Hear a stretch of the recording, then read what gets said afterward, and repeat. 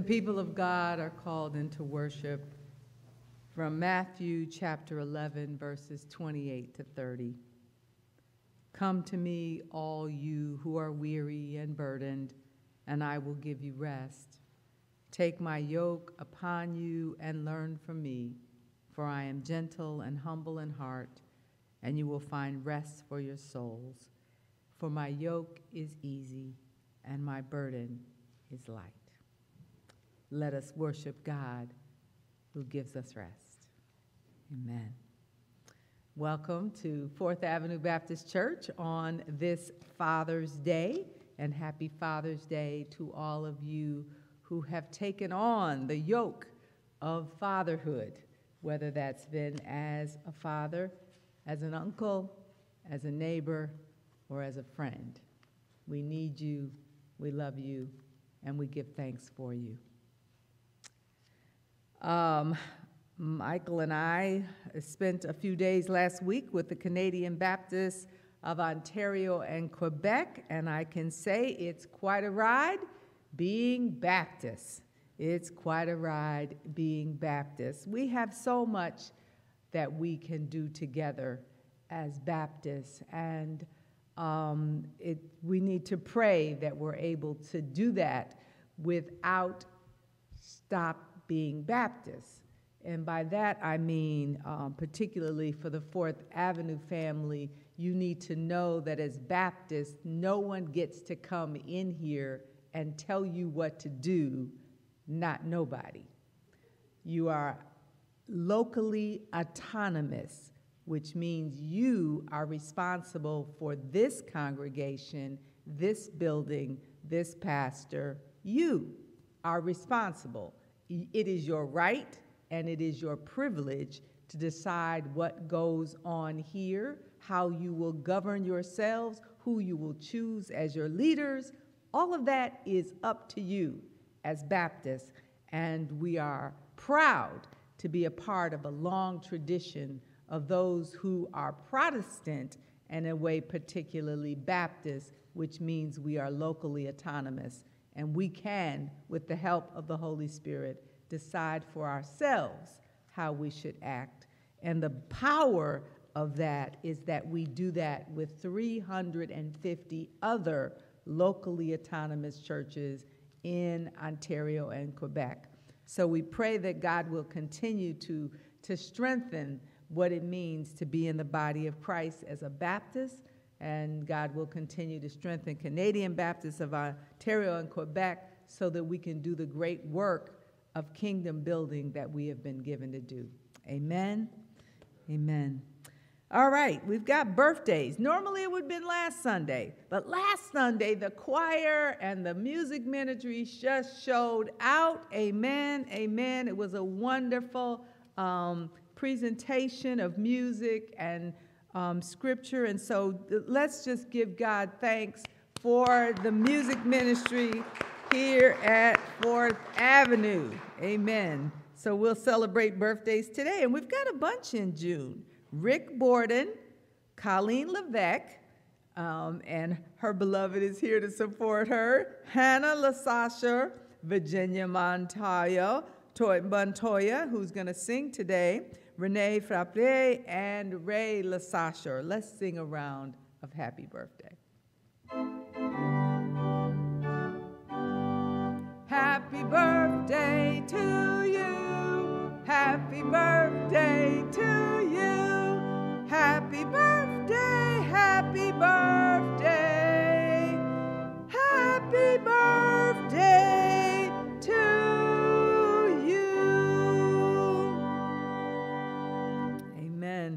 You know, this is another birthday because on this day in 1865, General Gordon Granger arrived in Galveston, Texas, and read Order Number Three, which affirmed for those in Galveston, in Texas, and the United States the end of enslaving persons in the states of the former Confederacy.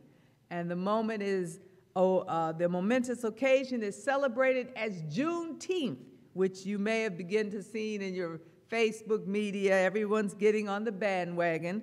celebrating Juneteenth, but the people of Galveston, of Texas, and of African American descent have been celebrating this day for over 150 years. It is not new. Amen. And we celebrate with those persons in the United States who are celebrating what had to be the best day of their life to actually be not just free in Christ Jesus, but free of their earthly chains and able to self govern, able to self determine, kind of like Baptists. Amen. Amen.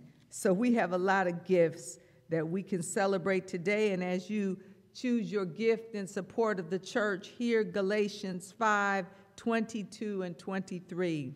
The fruit of the Spirit is love, joy, peace, patience, kindness, generosity, faithfulness, generousness, and self control. Let us pray.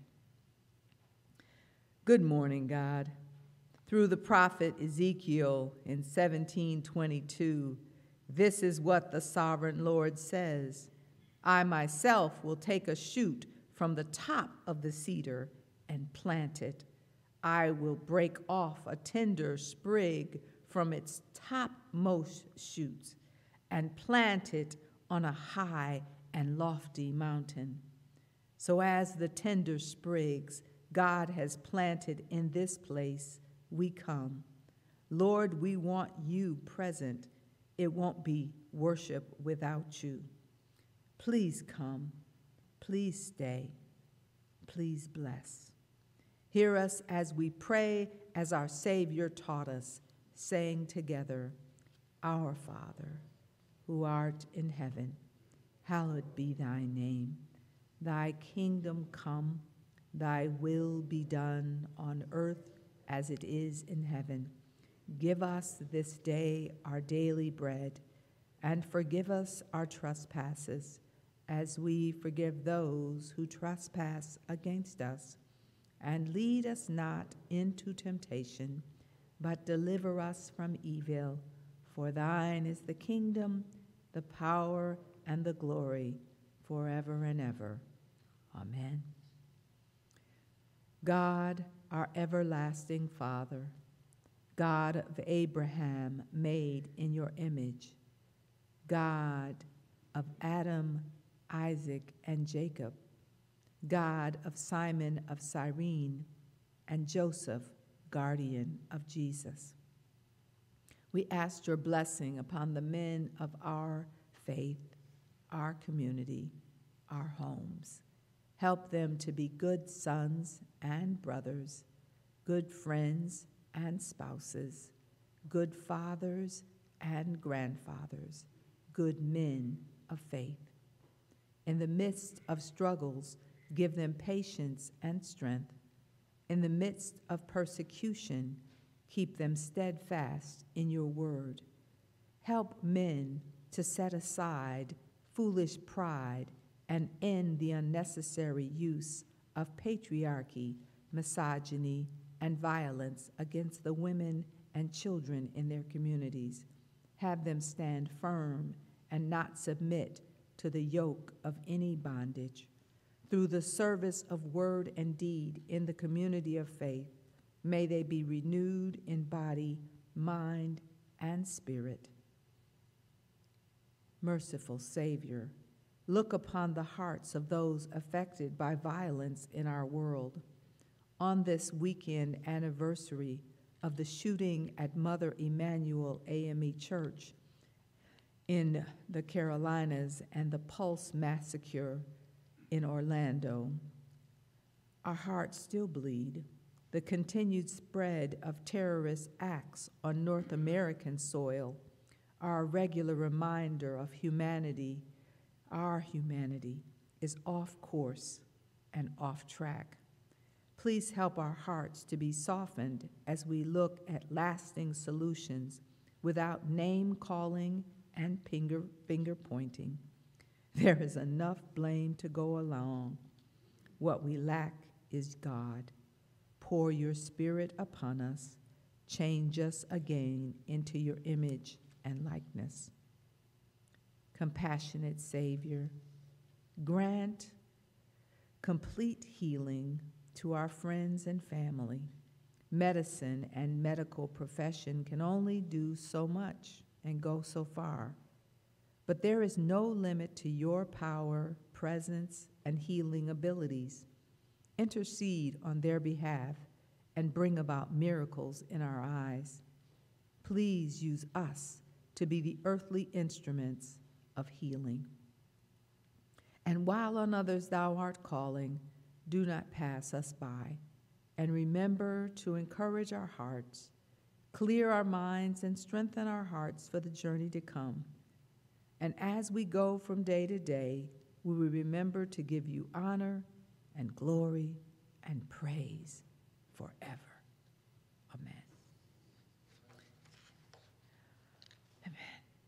Our, our hymn for today is uh, Calvary Covers It All. There are two hymns in our bulletin today. We're going to sing Calvary Covers It All as printed in the bulletin. But when we finish the service and we get to the last hymn called Cover Me, we're only singing the chorus. So, just in case I get caught up after preaching and don't remember to say that, we're only preaching, we're only singing the chorus only the chorus three times. So join us now in singing Calvary Covers It All.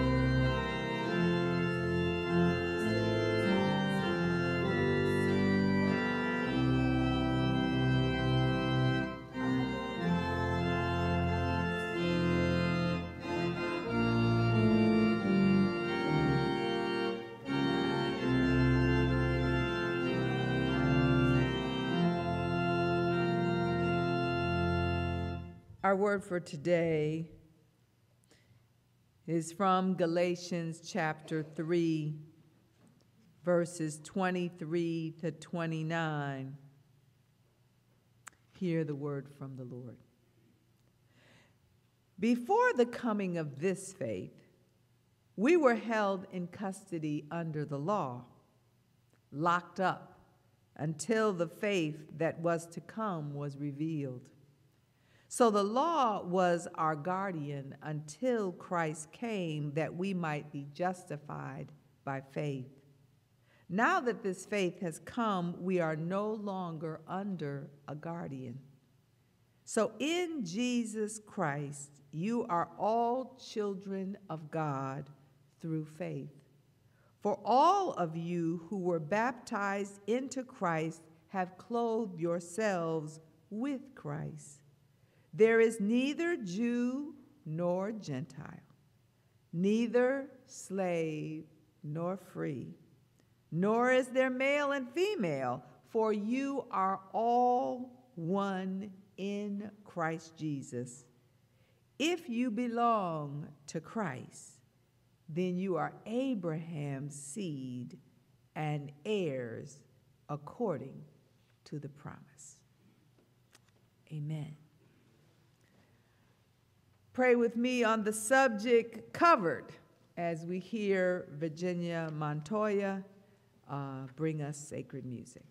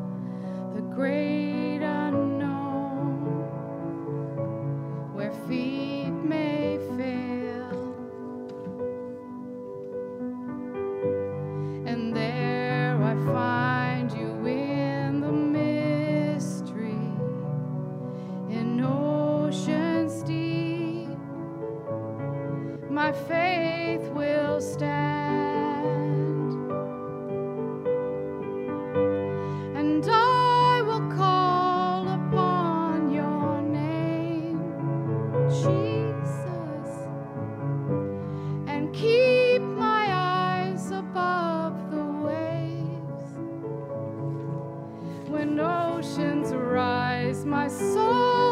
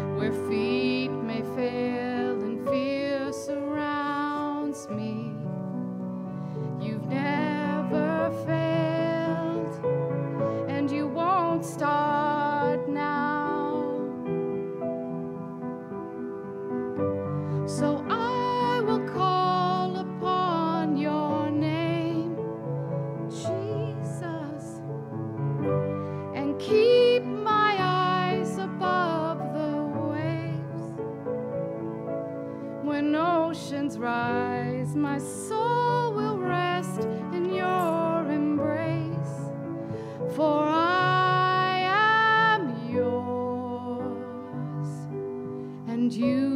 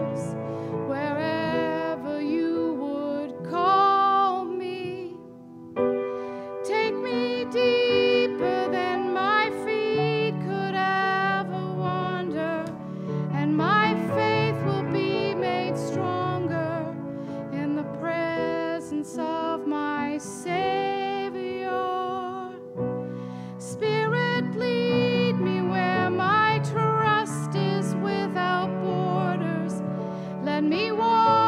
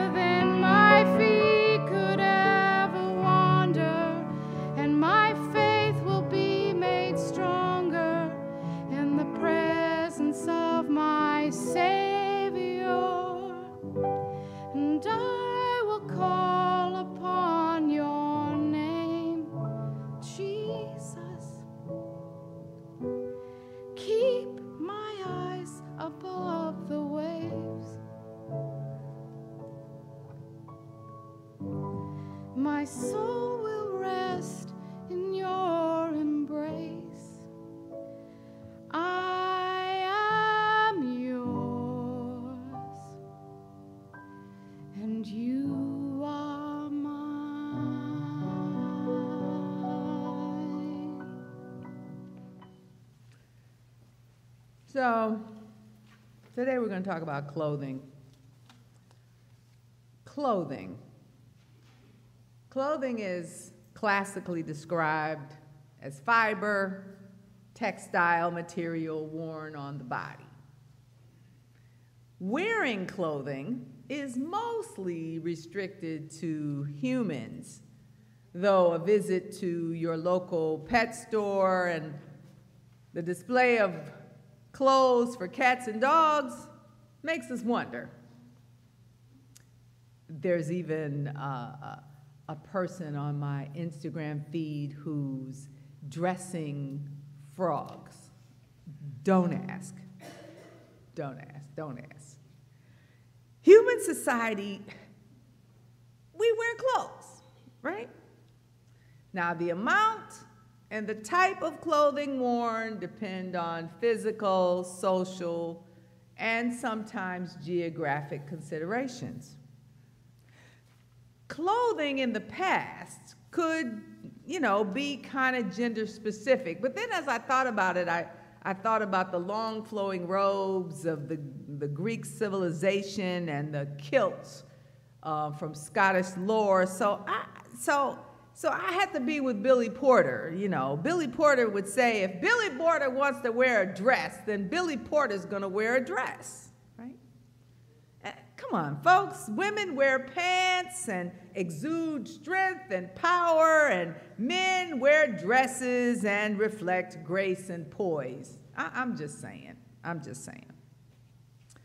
On the practical side, clothing can provide some protection from the elements. And during activities like hiking and and uh, you know extreme sports can insulate against cold and provide a hygienic barrier keeping infectious and toxic materials away from the body because over the last two years you know the face covering has become a fashion icon right i mean the first lady has a has a beautiful pink suit and then matching face coverings i mean i, I think it's just amazing what we've done with how we've turned this, uh, this requirement into something beautiful. A wise person said that there's no such thing as bad weather. There's just a poorly dressed person for that weather.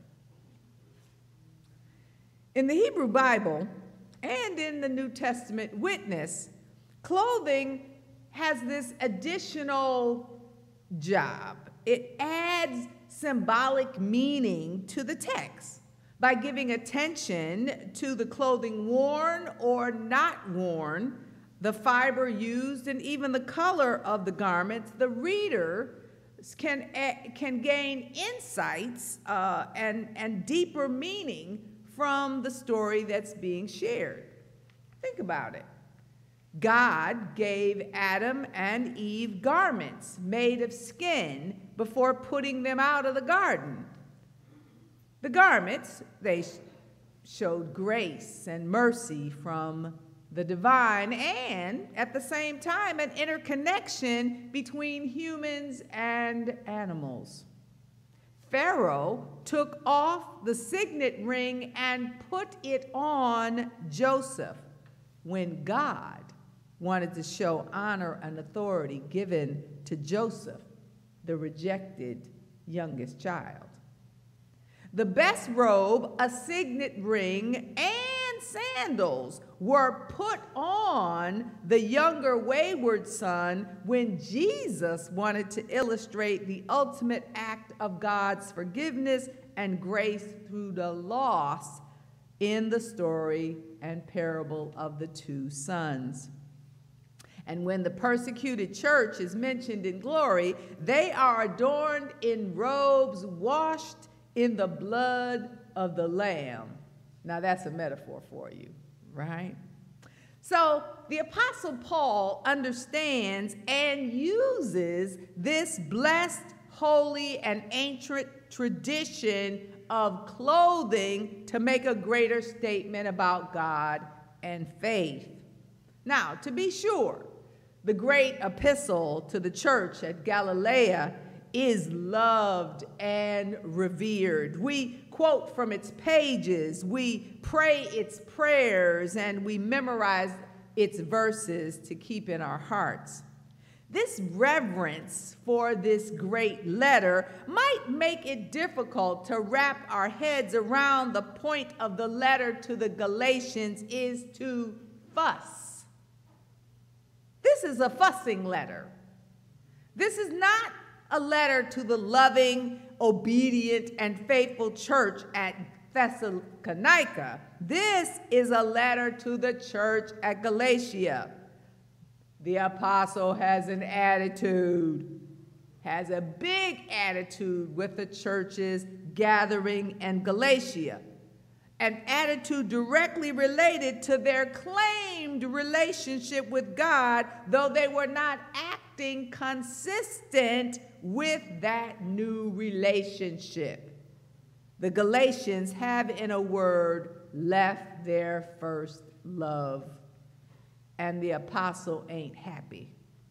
The apostle ain't happy from Galatians chapter 1 all the way to Galatians chapter 6.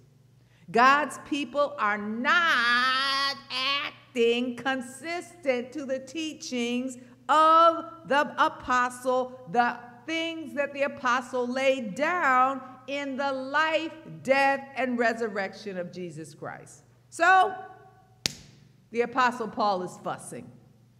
The apostle Paul is fussing to the church, and we want to hear this fussing at them as a warning and a teaching so the apostle and God won't need to fuss at us. The issue is what do we believe? The Apostle Paul believes that at the cross there are no distinctions or differences among people if we are in Christ. We are one. We are clothed in Christ. The apostle uses a baptismal formula to suggest what happens. You see, in the ancient church, the baptism generally happened, first of all, in a home and in a pool constructed specifically for baptism. The candidates would have been stripped and brought into the pool naked and baptized. On the other side of the pool, we would have been given a brand new set of clothing. The new clothing represented our newness in Christ. We were fresh. We were pure. We, our sins have been washed away, and our former selves have been washed away. Now we need a new self. And the apostle suggests we put on Jesus. Hear Galatians chapter 3, verse 27 from the message paraphrase. Your baptism in Christ was not just washing you up for a fresh start. It also involved dressing you in a faith wardrobe. Christ's life, the fulfillment of God's original promise. Saints, we're covered. A character from an old movie. I know Will Smith is complicated, but I love Will Smith's movies, the ones that I'm strong enough to watch. There's a couple that I'm not that brave. But one old one comes to mind, and in the movie, the bug is terrorizing New York wearing a brand new Edgar suit. The man, Edgar, is ugly, mean, and probably we would call abusive. But Edgar's been killed by the bug, and the bug is wearing Edgar. wearing Edgar. And wearing Edgar, the bug is as ugly, mean, and abusive as Edgar was. Paul wants us who were dead to put on Jesus and to live and act and move like Jesus. Because at our baptism, we got this brand new Jesus suit, and it looks good, and it fits fine, and it wears well. So we can act differently. And we can walk differently. And we can talk differently because we're wearing a brand new Jesus suit. it doesn't matter what church I attend. The word says there is neither Jew nor Greek it doesn't matter if I'm the custodian or the council president. The word says there is neither slave nor free. I, I, I, have had this happen to me more than once, but I remember one time a, a saint at a church I served was opening a new business. And the saint and their spouse were just excited and talking all about it. And, and, and they wanted me to pray for the success of the new business and for strength for the owners, which were them, and, and for all of the things involving the startup of this new business. And they went on and on. And it never occurred to me as I prayed or considered praying uh, what type of business it was. But the more they talked, it was kind of evident that they wanted me to ask about the business. And, and, and one of them said, I don't remember if it was the spouse or the person, oh, I'm a, a physician. Uh, and, and they seemed kind of surprised that I didn't know that, right? And I thought to myself, how would I know that? The matter of fact is, I don't even care. When, you see, because when I walk through the doors of the church, all I want to see are saints. I don't want to know what anyone does for a living, right? Because if I knew what anyone did for a living, I might get caught up in your years of education and your pedigree. I might be moved by your salaries and positions of authority. All I want to care about is if you belong to Christ, then you are Abraham's seeds and heirs to the promise. We are all the same in and to God. I am wearing a brand new Jesus suit. It doesn't matter. It doesn't matter. Then, then there's this male and female thing. Here in Canada, we, we, we take a lot of pride in claiming that we don't make distinctions between sexes, but every now and then I, I think it would benefit us to ask ourselves if that's really true. Do I harbor uh, no animosities because he's a male? Do I suggest that there are any differences in what she can and cannot do because she is female? Now, I'm not talking about just here in the church, I'm talking about everywhere. Everywhere. Just because you are male does not mean that you are good with tools and fixing stuff. and don't look at me and believe that I don't know my way around the, a wrench or a pair of pliers. I, I cannot know all of who you are by looking at your outside, and you cannot know all of me by looking at my outside. Look for the Jesus suit. That's all. That's good. That's the point. When we are in Christ Jesus, for all are one covered. You, you gotta love this text. You just gotta love this text.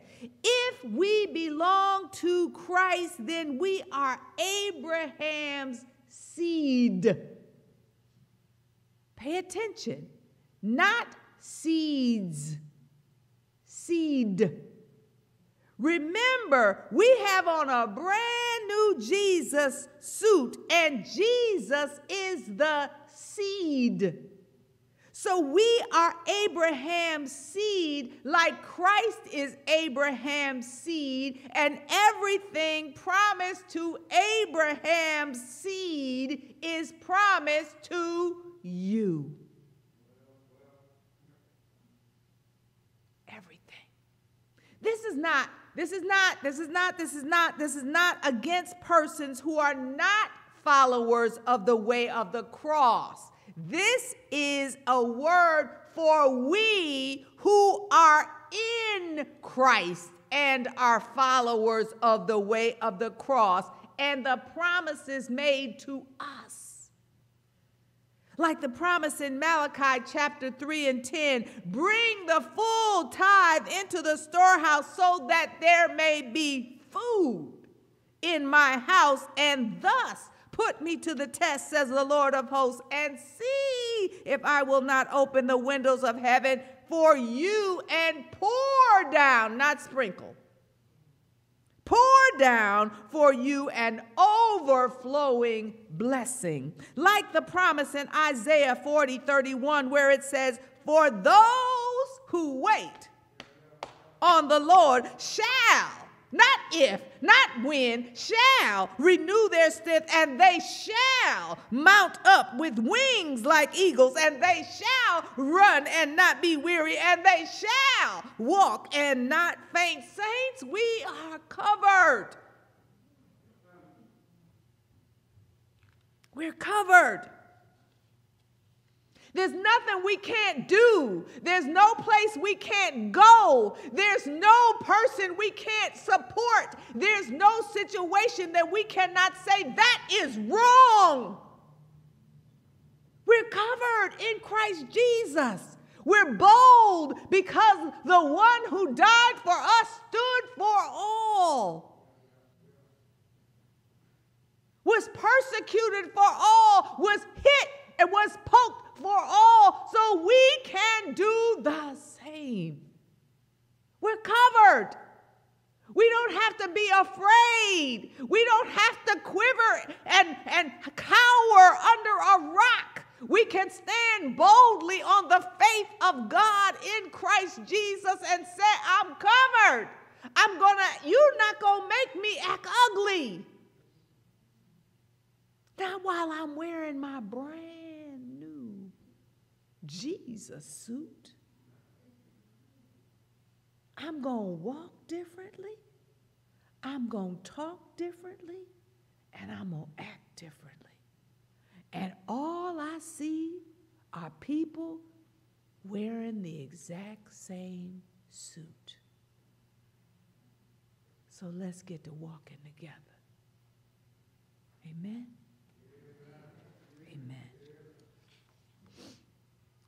Cover me, Lord, with your presence. Cover me, Lord, with your righteousness. Cover me, Lord, with your holiness. Lord Jesus, cover me. Let's sing.